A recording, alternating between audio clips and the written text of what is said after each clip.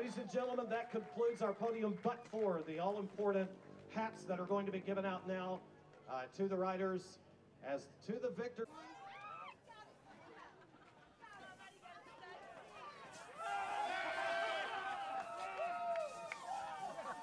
That was a good setup.